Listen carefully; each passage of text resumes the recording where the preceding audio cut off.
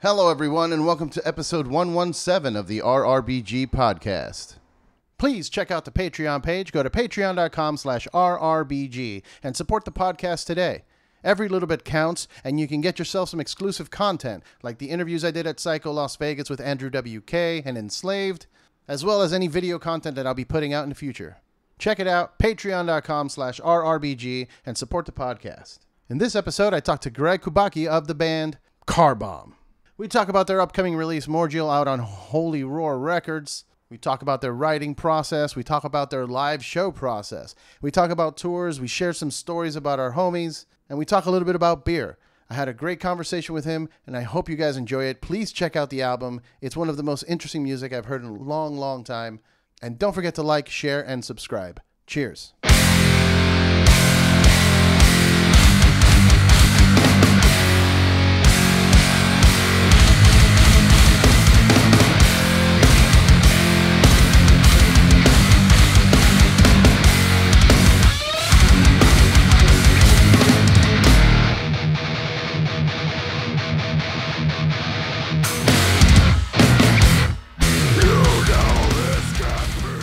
Hello, everyone, and welcome to the RRBG podcast. I'm here with Greg Kubacki. Am I saying that right? Kubacki?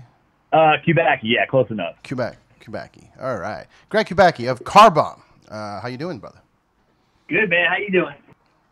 Doing good. Made some coffee for this. I've uh, I've had a long, long week. Oh, Trying yeah, to yeah, stay awake. All, yeah, yeah. We're Yeah, uh, we're back from tour for a month now. We've been all been trying to catch up with work, and we're all in the same boat as you. So I feel you. Yeah, you guys uh, recently released, uh, or wait, is it the 27th yet? I'm, I have it, so I'm confused by this. Okay, it's the 20th. I have the album, but it's not out yet. All right. So September 27th, you guys have M- Mordial. Yeah. It's out on Holy Roar Records. Dude, uh, question number one What's wrong with you guys? I don't know. We've been trying to figure that out for a long time, but we can't seem to figure it out. I love the album. I'm, I'm going to lead with that. I love the album. Uh, I was listening to the promo they sent me, and I had it like blasting in the in the living room. And uh, my fiance is walking around, and she just stops, and she's like, "What are you listening to?"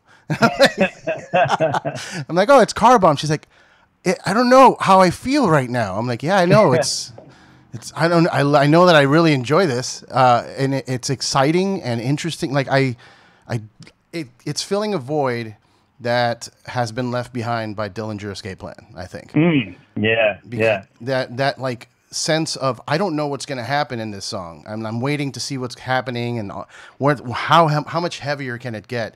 Uh, you know, out of nowhere we get m- melodic singing vocals that you don't expect. You know, like it's super heavy, uh, super toned down. You know, chugging explosions, and then you get these beautiful melodic uh, vo- vocals in the background. So, what is where is this all coming from? Like, what is the theme for you guys? Like, is this is it more of like a psychological thing? Like, I, I don't know. I'm trying to figure it out because it puts me in a weird place. I don't know. I mean, we're all kind of tuned to this type of music, I guess. Like, I mean, like you were mentioning Dillinger, and like, yeah, I miss those guys to death because you would, whenever they put out a record, that was like, you know, four months of analyzing every song and trying to hmm. figure out all the rhythmic patterns and all the weird harmonic stuff that they did. Like, it was always really fun to sort of dissect all of their little tricks. Hmm. And there's not a lot of that anymore. Like Meshuggah is like still a band that does that a lot, which is like, you know, every time they put out a record, it's, you know, half a year of trying to count to it. You know what I'm saying? Yeah. So we yeah. just we naturally just go for that. And as far as different textures, we just rip off our influences a lot, and we try to from as many different uh, bands and artists as we can from different genres and see what kind of compositions we can make. Yeah, man. It's uh, I, I, I gotta say you're doing a great job, and and obviously it's showing. I mean, it feels like the band is now getting more recognition than it has. Um, you know, your name is everywhere. Every time I look around, like, oh, oh, there's a cool band on tour. Oh, check it out, they're playing with Car Bomb. and then like the the you guys drop in those really interesting videos. They're like kind of they remind me of the old school uh, visualizer videos that you would get with like uh, like when you were listening to music back in the day on your computer. And it's just like Yeah, crazy those 90 patterns. Yeah, yeah. Those old school Windows NT screensavers. Yeah. Yeah, dude. Is is that kind of the inspiration for those videos, or what was the, the, the thought there? Yeah. Well, we always think of things visually. Like when we write music, we think of it in a visual sense of what sort of sensations you get. Or what, what's that? What's what's the uh, when you when you see music? What is that called? Oh man, damn. I, I forget. Yeah, I'm not going to try too. to say the word because I'll butcher it. But um, so there's always a visual component to it, and um, plus we're really influenced by uh, like mid to late '90s Warp Records album artwork from One Republic. Like they were a design studio, I think in London. Don't quote me on that, but they're in the UK somewhere. And they just always did like the coolest shit as far as like Aphex Twin covers and Autechre covers and Squarepusher artwork and all that stuff. So growing up on that, we sort of like to pay homage to that with our artwork. Since you know all the other bands have like you know evil metal shit, we figured let's not do that. Let's do something else. No, no tree branches and uh, like fire and some kind of uh, demonic. Not yet, but maybe, yeah, maybe later on we'll have some witches or something. Who knows? oh man! Uh, so you guys uh, been touring with uh, Animals as Leaders in Europe. Um, how was that? Like how how how's the audience when it comes to the screaming? Because I know. Like Animals as Leaders has a lot of that really cool trying to figure out the music and, and see where they're going with it, but there's not a lot. There's no vocals, so uh, some of those fans, like some of the like the Berklee students that just go check out, uh, you know, super talent, uh, they might get turned off by the screaming. Is that the case, or was everybody like super into it? No, everybody's super into it. But we always gauge because usually people who have never heard us before, they won't necessarily know how to react like you were saying, your fiance didn't know how to react.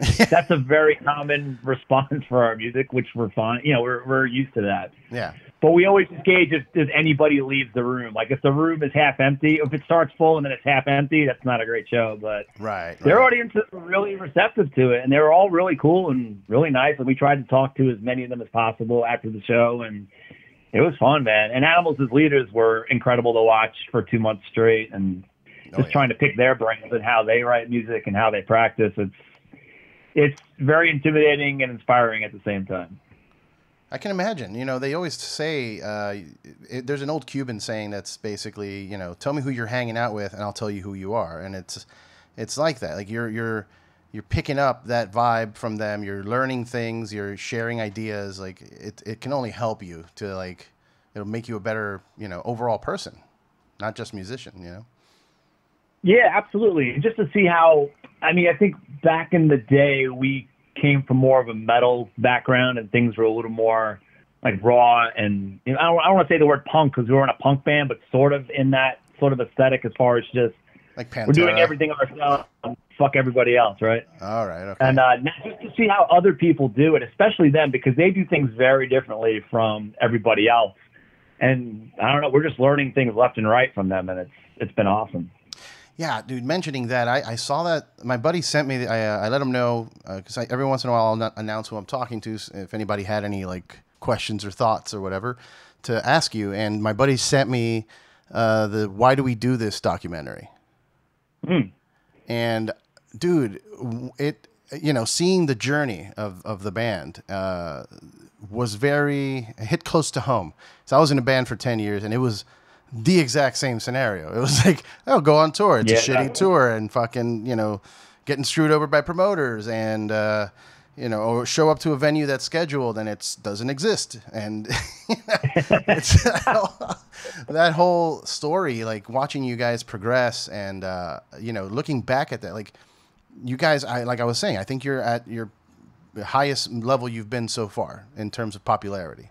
Um, so far, yeah, sure, and I, I think every band does that. I mean, you know, we hear stories from Gojira all the time about you know all the stuff that they went through, and you know, everybody has to pay their dues. Maybe it's a little different now with social media and YouTube because you can sort of get a following before you hit the road, but that also doesn't work sometimes either. Sometimes, you know, YouTube plays don't necessarily translate to people at shows. Right. So I think it's just normal. I think, you know, I don't know how to explain it, but we still had like a lot on on those runs, even though, you know, even like the one, the tourist one is that gazebo we played where it was us in this band called Last Chance to Reason, and there was mm. ten people in this like outdoor like park under a gazebo, and there was you know we, there was more people in the bands than there were in the audience, so we actually just set up around the audience and like did a song. Like we did a song, and then they would do a song, and yeah, nobody was there, but it was a lot of fun. So as as you know, hard as that those shows were, it still had this like charm to it, which is really cool. Well, for sure, man. I mean, I, I have fond memories of those, you know, house shows and uh, uh, festivals in people's backyards and shit like that that you just, you know, you Yeah. get booked on. Uh, and they're always fun. I mean, it's not. Look at you see footage and you're like, what the hell, man? What are you guys doing? But, but yeah, it, it's that's what I guess musicians. That's what you want to do. That's what you have to do. You have to go out there and play, and no matter what, like I, and I applaud you guys because you guys stuck to your sound. You didn't really change in order to be, start getting more success. It was just you guys just kept doing it and doing it better and louder and with better equipment. And I don't know. I got I give you props for that. Cool, man. Thanks. Yeah, I mean, Yeah, we, got- I don't know. We we try not to bullshit ourselves with um I don't know. Like we all have pretty decent bullshit detectors for music, Mhm. And uh, we know if something is doesn't really feel 100% us, or if we're maybe trying too hard or something like that. So we do get a lot of that stuff, but it usually gets axed, and we just stick with the raw stuff. Yeah, uh, I, I wrote here. There's a question my buddy wanted me to ask you, and it's that you know your music has always involved a lot of this uh, unorthodox or no pff, unorthodox techniques. Uh, you know, pick scraping and the harmonics and odd measures and all that. And uh, you know, it wasn't nearly as prevalent in the prior albums like Centralia or the I don't even know how do you say that name W W W W uh, Arrow. We call it um, we call it W Click W, or you can call it the Waveform album if you want. Okay, the waveform album. There we go. So yeah, th- those type of things weren't as prevalent before. Uh, so what kind of pushed you towards getting into this uh, like punishment by guitar t- type of sound? Huh. I guess it's something I've always been striving for in my playing as far as trying to make it like make it less like a guitar and more like uh like a electronic music type of sound type of thing, I guess. Like how Aphex Twin like, you know, changes his sounds all the time and Artec Artec are the kings of like, you know, sound design. They do they've been doing like stuff, you know, ten years ahead of its time for the past twenty years. And uh just trying to I don't know. That stuff always kind of sounded heavier to me than just regular metal guitars. And not that I want to play synths or do anything like that because that's not as fun as playing a guitar. So it's Right. trying to find that spot of, you know, how could I make like a screechy sound but still have it come through an amp? And I don't know. It's just always trying to find little, little uh, hidden gems in the Axe-Fx or trying to program things in a way that it's not really intended to to try to get different things happening. So you're like a big gearhead. Like, do you go to NAMM and just look at all the different developers of, of sound, the pedals, and all of that, trying to you know discover something new, or or do you kind of just really. work with what you got? Yeah, I try to work with like what I got because I think it's really easy to get lost in different types of gear. It's like when um I don't know, it's like if you're trying like if you're a computer programmer and you try to learn 20 different languages. Like you'll be okay at all those different languages, but if you focus on one or two, you'll be, you know, way more proficient on those and you'll be able to uh, work on things a little bit faster and get into a flow state. And I've been using the Axe-Fx for about maybe eight years or something like that. I think not the not the very first Axe-Fx, but I got like one of the older versions of the first Axe-Fx. I think it's called the Axe-Fx Ultra, and just been messing with it ever since and trying to find ways to get new sounds out of it. Uh, I mean, I like pedals. I mean, every guitar player likes pedals, but I only have one on my pedal board. I usually just use the Axe-Fx. Okay, and so like uh, the, all the, it sounds like a whammy pedal the, the when it goes like down to down an octave. So that's not a whammy. That's more uh, the Axe-Fx that's doing that. When Sure, doing yeah, it has a pitch shifter in it. Yeah, Okay. it has actually has two pitch shifters in it, and they have different modes. So they have, um, you know, the Boss PS3 uh, Crystal Echo thing, which sounds amazing. They have like a whammy type emulator. They have ones where you can throw, you know, two. You can throw four pitch shifters at the same time at a sound, which is a lot of fun. Like there's one part on uh, a new song in Mordial where there are eight pitch shifters going on at once, and then they merge into one tone, and then they spread out again. Mm. So you can do just weird stuff if you like. If you if you dive into the Axe-Fx and what it can do. I mean, I still wish they had more stuff added to it, but it still offers way more sort of bells and whistles than a lot of other things do. Hmm. Is this a you know for live shows? Is this something that's programmed in so that the switch you know the switching around to different effects, uh, or are you doing it live with like a pedal type of thing, like a switch pedal?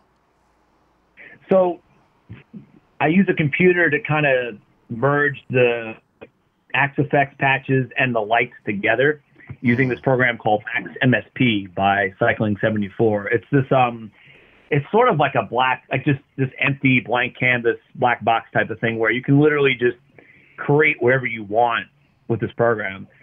So we take uh, Elliot's drum kicks and tom hits and snares and convert that into light data. And then I have uh, expression pedals hooked up on my pedal board, which control the Axe-Fx.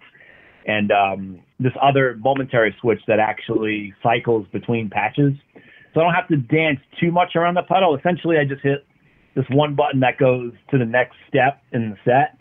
And then the expression pedals control whatever effects I'm using for that particular song.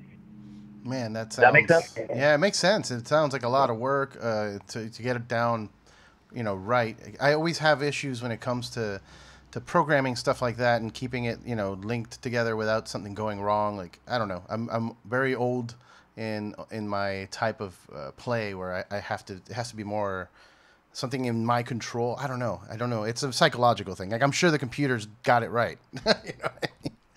There's a couple of bugs. I totally agree with you saying because there is a couple of times where, like on the last tour, uh, there was an issue. We had like a USB hub hooked up between a couple of different things. Yeah. And it was causing Max to crash, so I couldn't change patches and do any uh, effects during the middle, like just randomly in the middle of songs. So. Oh, and I can't play guitar, so you know I can't do. It just doesn't sound like anything.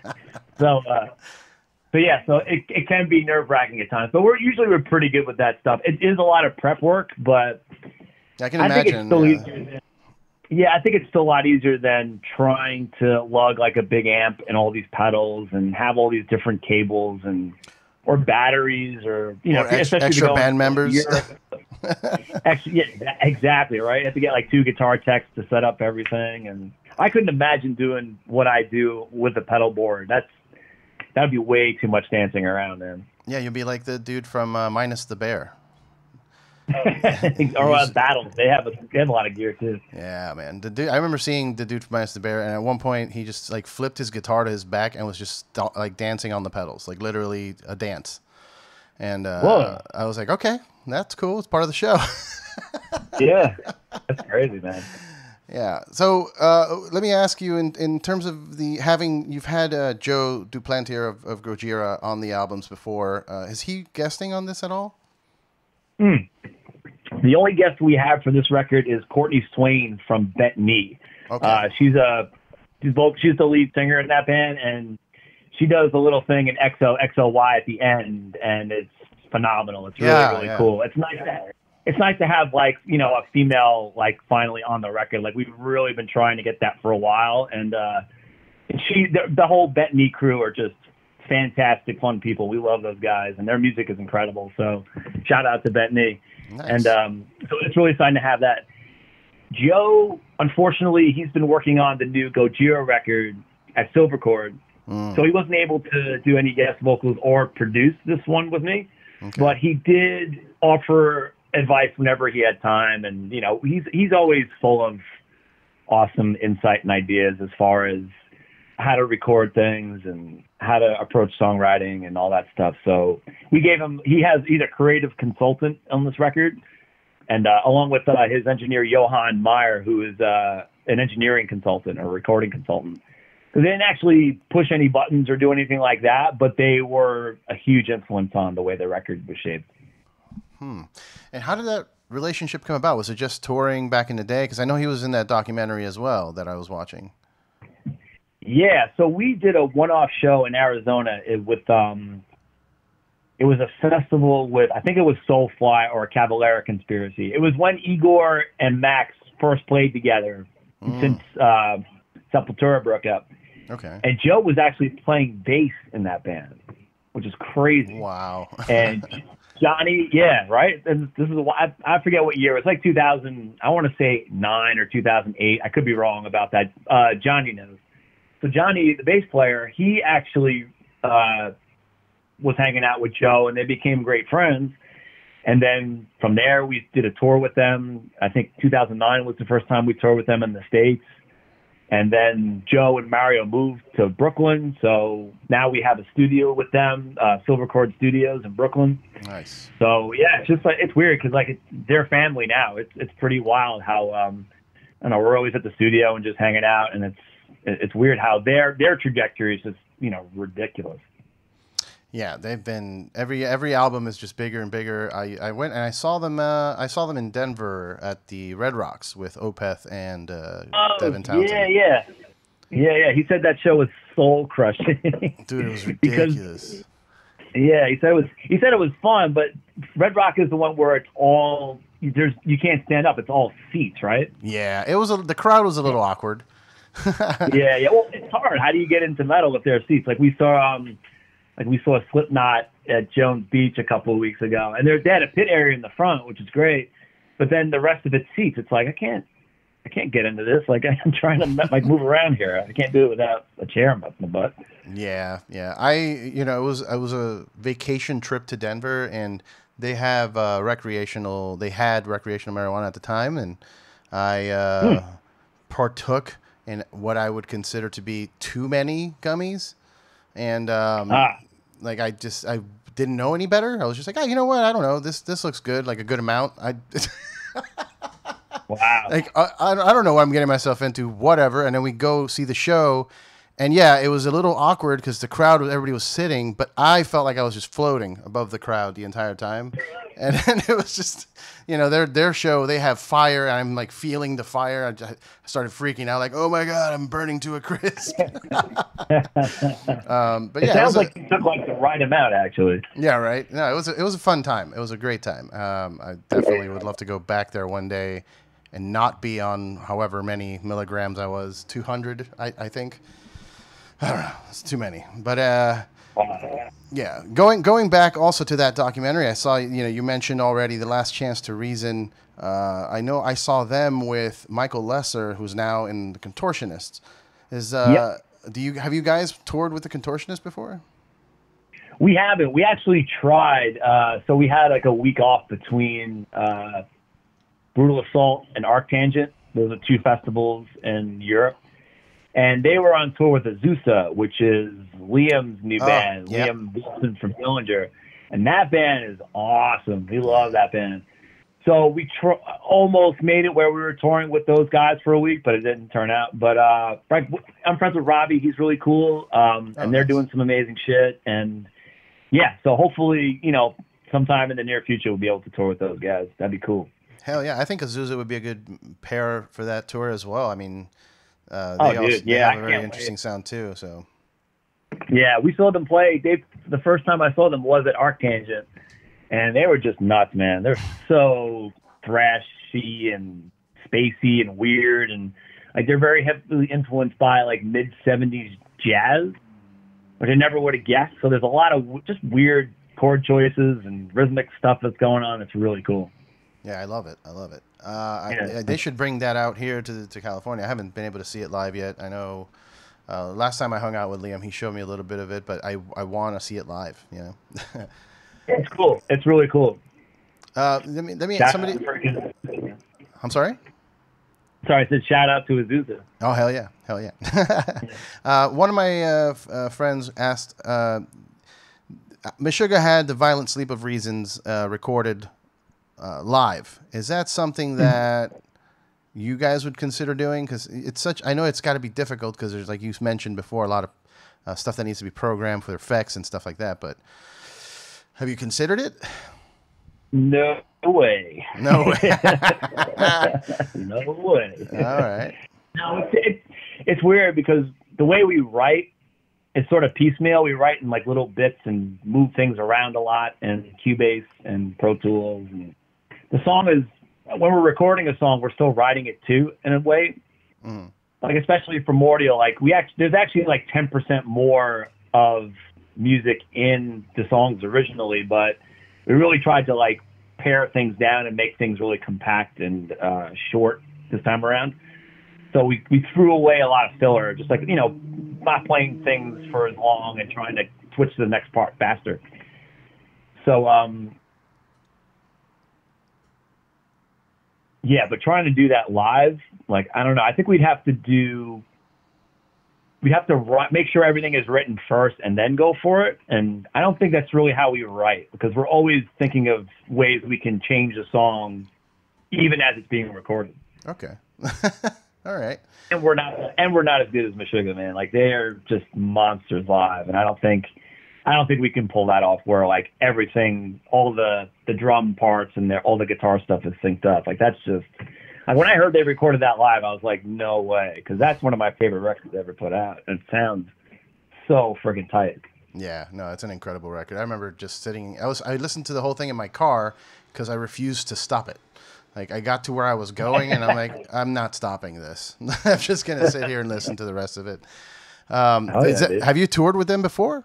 Is that something you'd want to do? I'm sure. We did. So we did. Um, we did uh, two weeks with them in Europe. I think I want to say 2015 or 2014. Mm. It was on their 25th anniversary tour. It was right before Violent Sleep, and uh, yeah, it was awesome. It was really cool to see them tear it up every night. Huh. I think I went to that tour, but you guys didn't come out here with them. No, we haven't toured the states with them yet. We're dying to though. We would love to throw down with them in the states. We That's- haven't really yeah. been to the West Coast in.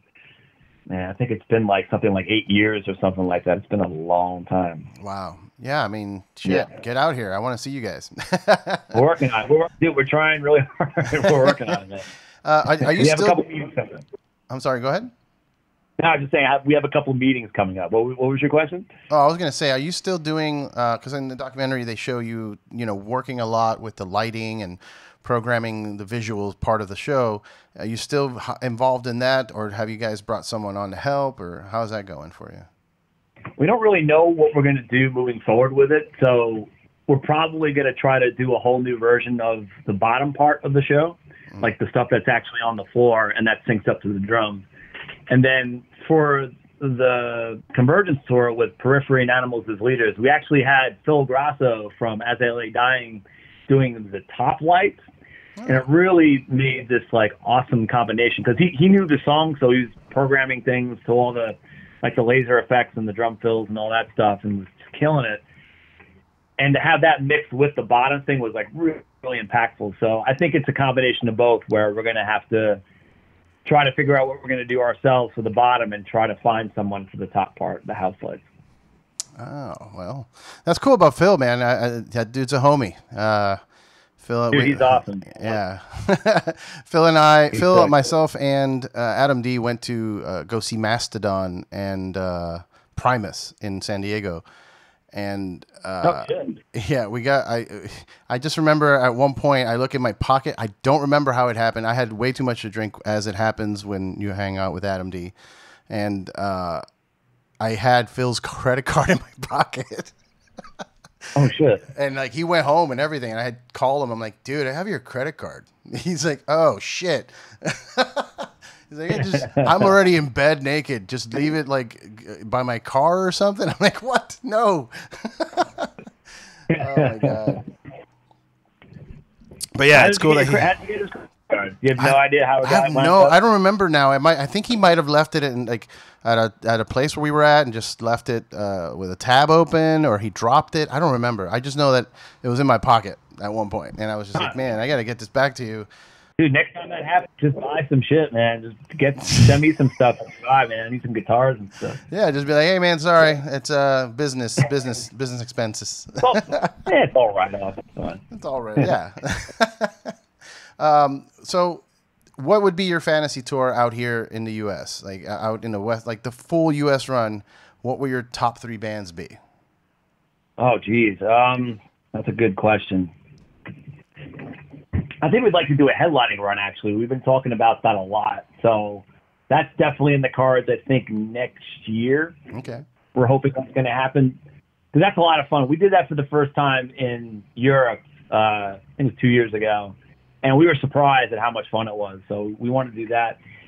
It could be anybody. Like I know we really want to tour with Deftones. We really want to tour with uh, Tool, and you know Metallica is like a moonshot, but that would be cool. Uh, and yeah, and Meshuggah again. I mean, we we only toured with them once, so we'd love to hit the road with them again. Very nice, very nice. What's the plan? Huh? No, go ahead. No, I was going to say, what's the plan uh, for the next? This tour is Animals as Leaders in Periphery that you mentioned. So, is there any other ones that you're looking into that kind of look like they're going to happen after that, or? So that was a tour we did two years ago with Animals as Leaders in Periphery. We don't have anything booked yet, but we have things in the works. So Mm, okay. as soon as we know, we're going to be uh, announcing stuff. But uh, so far, the only thing we have booked is Euroblast uh, next week, which is uh, a festival in Cologne, Germany. Uh, we're headlining the last day there. And then we're doing a record release show in Brooklyn at the Kingsland, which is like this awesome like pizzeria, bar, music venue place. And uh, that's it. And then we're gonna rest for the rest of the year and then see what comes up next year. Okay, okay. How's uh how has how has it been getting this album together with Holy Roar since you guys have usually been independent? Well, we still are. So we're in the states and in the rest of the world. We still it's still Johnny doing all of that stuff. He's like the king of logistics and shipping things out, and he has like his own PO box or, or uh, zip code or whatever. He just he's always shipping stuff out, and Okay. um, and then so Holy Roar is just for Europe. So it sucked how much like our fans have to pay for like you know CD is like ten bucks and then they got to pay twelve dollars shipping or something like that. That's just ridiculous. So uh, I met Justine. Uh, I'm a big fan of Employed to Serve, and I met her at Download back in June. And we just it it just started from there. Like we had a conversation, and then a couple emails later, we had a deal with them for them to do distrib- uh, distribution for us. And uh, yeah, it's been great so far. Really, really cool. And um, yeah, we couldn't be happier to work with them. That's good. That's good to hear, man. I yeah, it's I I saw the name of the label. I was like, hmm, maybe because I know I think Rolo Tomassi releases through them. I, I know I've seen the name before. Yeah, they have some stuff for them. Yep. Yeah. Okay. Yeah. Yeah, they have an awesome roster of like awesome hardcore shit and metal shit. So it's it's nice to be part of. Every time I go to their site, I'm like, "What's that band?" And then I hear it, I'm like, "Jesus Christ, how have I not heard this before?" Yeah, Rolo So Tomassi they're was a nice surprise for me because I, I had not heard them before, and I think I heard one of their earlier songs, but their sound has changed a lot over the years. And it's yeah, got, especially that song. Uh, after, yeah, that aftermath song is really really awesome. Uh, we Yeah. saw them play at Radar and somewhere else, I forget. But yeah, they just super tight, like super emotional, impactful, like heavy. It was really really cool. Very nice. Uh, for you personally, do you have any time to do any kind of hobbies outside of music and you know getting stuff ready for the band? Like, do you are you into anything else like uh, comics or beer? Because I know you guys are big fans of, of Dave Witte, and I know you've done like a you did like a Oh, split, yeah.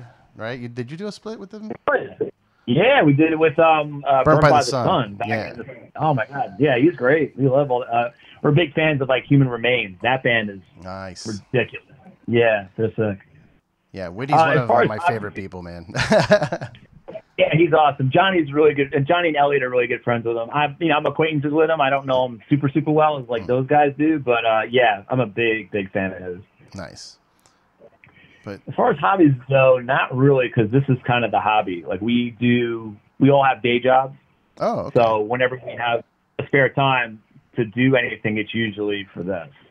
I see. uh, I see. Yeah, besides that, nothing much. Just like to hang out. Uh, I do the artwork for the band too, so I do artwork on the side just for fun and listen to a lot of music and hang out by the pool, and that's about it. Very cool, man. So you do all the artwork. Is that all rendered on the computer? Uh, do you do also, you know, hand like painting or drawing or anything like that? Not in a long time, so I used to. Uh, I actually went to school to, uh, at Philadelphia's uh, College of Art. It's called the University of the Arts now. Okay. and uh, I studied illustration, but I wasn't really that good, and uh, it just takes too long. Like doing stuff by hand takes for, ever, and like it's paint, so it's like really uh, fickle and hard to control. I'd much rather just do stuff on the computer where you can, you know, there's an undo button if you screw up, and you can save multiple copies of your work and sort of pick like one of your favorite ones. And yeah, yeah, yeah. I mean, it is definitely easier to use.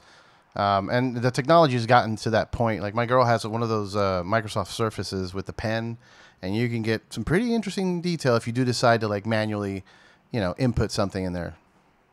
Sure, and there's so many different apps now. I mean, I haven't really like dove in too much of those, but a friend of mine does, and there's just so much stuff that I want to try out whenever I have some free time. So it's pretty exciting to see like where, especially like on Instagram, like there's so many people doing like amazing work in the graffiti world and in the digital world, and even like in motion graphics and in uh, even uh, lighting installation. Like it's it's really inspiring to see so much great artwork out there and trying to mimic it and trying to come up with something that's cool.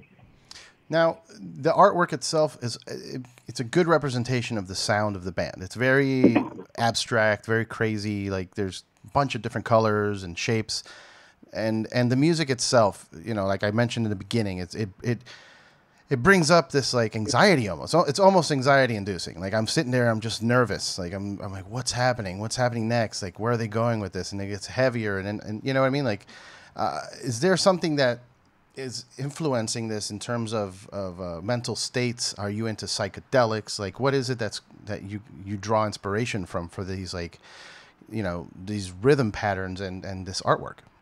Like, do you suffer from anxiety and and, and or anything crazy like that, or do you have have you had out of body experiences? Really. No, I get anxious when I hear like really boring music. Like that drives me nuts. Uh, you just want to run out of the room oh my god, it drives me insane. But um, no, I don't know. I, there's really no. We're just we just like that kind of stuff. I, I mean, it's, it's, such a. It's not a great answer, but it's really the truth. Like this yeah. is the kind of stuff we like listening to. Like, I guess when we listen to like something that's a little more mathy, for lack of a better term, mm. like it's not really so surprising for us because we're just constantly always playing in odd times. So it's always fun to see how other bands use it. Like it's always like I was talking about before. Like it's always interesting to see how Meshuggah does what they do and how they just pull so much mileage out of you know this one simple idea, but they seem to like find all these new ways of like these new impressions or these new like heaviness that they'd never reached before. And uh, we just tried to do the same thing. Like we only have like a handful of tricks, but we try to just mix it up as as differently as we can for each song.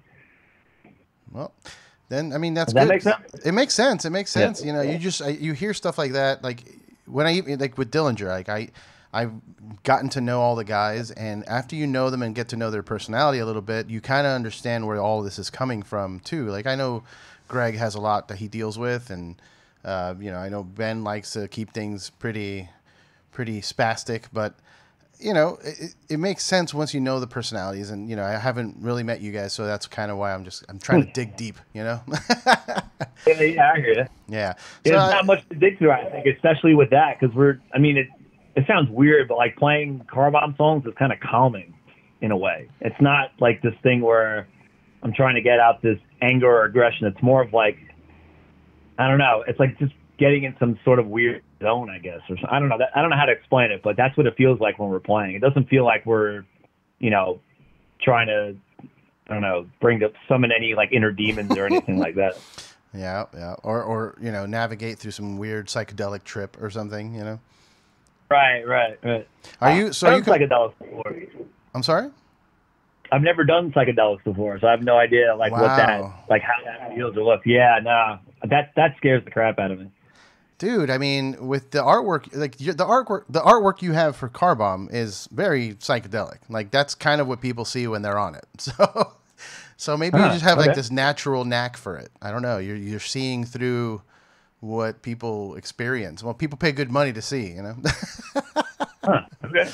That sounds cool. Are you into any kind of thing like that? Do you have any vices? Uh, coffee booze beer you know uh, anything like that all the above like that. Yeah, absolutely. Yeah, I love beer, uh, coffee every day, uh, and that's about it. Really, I'm not really a huge pot smoker, but once in a while I'll I'll indulge if it's floating around. Um, I tend to tend to get really lazy and uncreative, which sounds weird because usually people smoke to like open up creativity, but for me, I just turn into like a complete dunce and paranoid stuff. So like like you were talking about that story with edibles. Like the one time I did edibles, I was a zombie for like eight hours, and I'm like, yeah, I'm not doing that again. Yeah, I mean, it. It. I guess you know people are wired differently, and and you obviously, you know, like you you're saying, you you have all this. Like, you're calming. Your music is calming to you. Like that's a different kind of wiring than most folks, and and to them, like Yeah. you know, like maybe yeah, the weed does. eh, There is different strands and things you, you could look into to.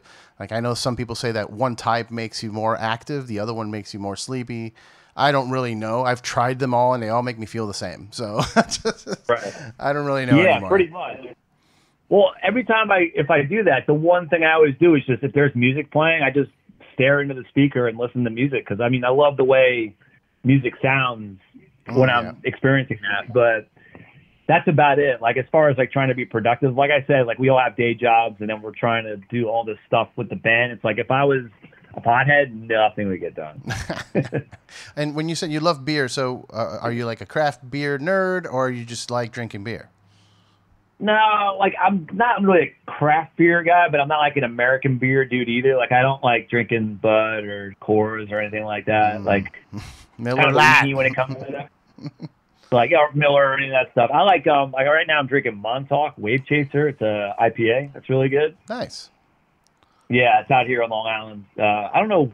I guess they're in Montauk, which is at the very end of Long Island, but I haven't been there yet. But I would like to visit them and see what's going on with their facilities. Yeah, I love going But, to uh, yeah. breweries, man. It's such a nice. Uh, Yeah. the, like the community is nice, you know. hmm Yeah. Absolutely. If if we're playing near a brewer, like a like a brewery or uh, a place like that, like in a city somewhere, it's always amazing because they have great food too. Usually.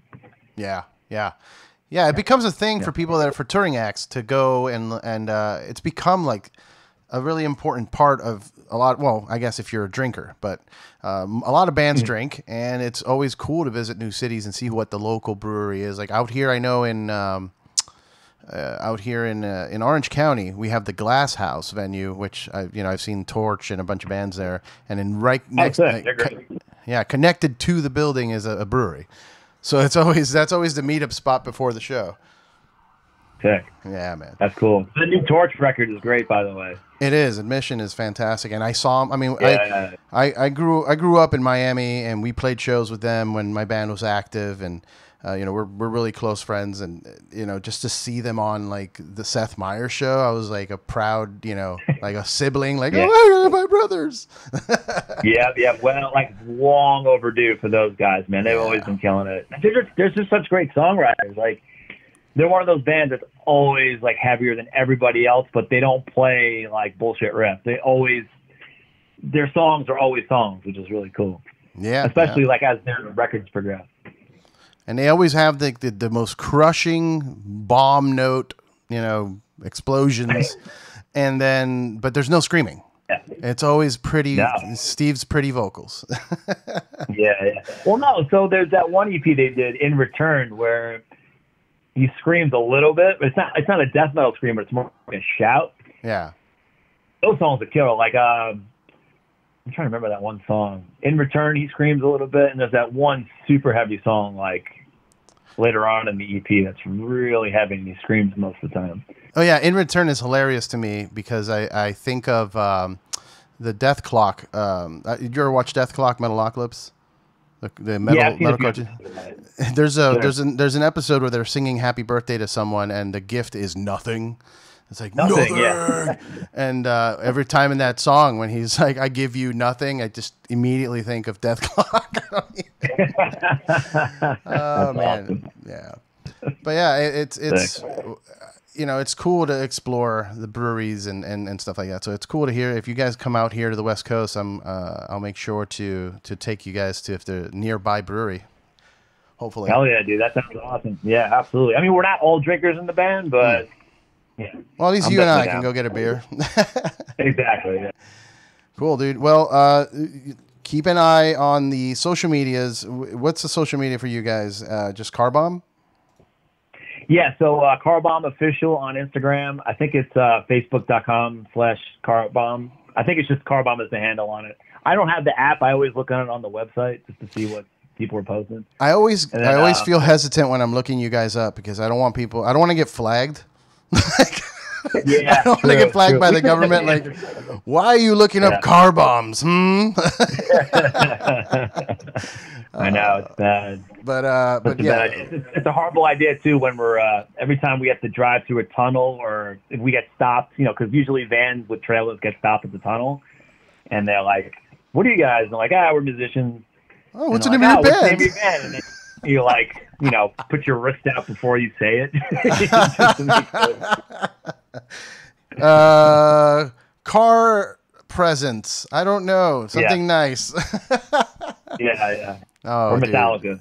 Yeah, yeah, we're Metallica. Oh man. So okay, so Car Bomb official. F- uh, follow them online so you guys can, when you announce the tour dates, you know, you can hopefully go catch you live. The album out on Holy Roar in the U, uh, uh, EU, September twenty seventh. Mordial. Mhm. I gotta tell you, man, uh, I love it. I heard the entire thing in one sitting. I couldn't stop. Again, it was the same effect from Meshuggah. I just I wanted to hear what was coming. It's like I need to go, but I need to finish this now because it's too much, and and it, it's too much to just break it up. Like if I did break it up, I had to just start over. I have to start over from the beginning. Sick, man. I'm glad you dig it. yeah, definitely pick up the album, uh, check them out, and thanks again for your time, dude. I really appreciate it. Dude, no problem. It's a pleasure talking to you, Eddie, man. All right, man. We'll be in touch. You got it. All right, cheers. All right, dude. Later.